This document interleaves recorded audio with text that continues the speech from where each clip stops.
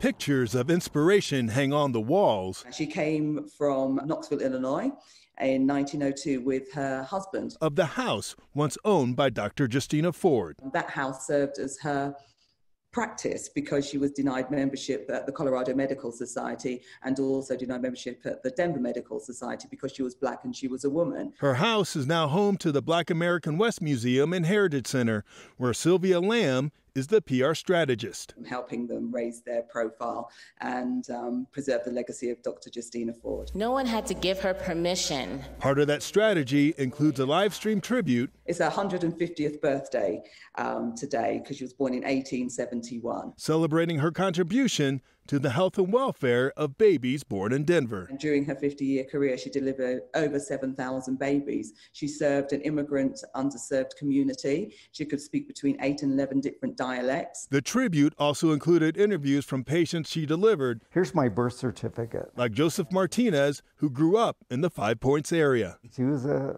forceful woman and she was determined to, to do what her passion was. And I think to me, being brought into this world, uh, by her. I think that's pretty cool.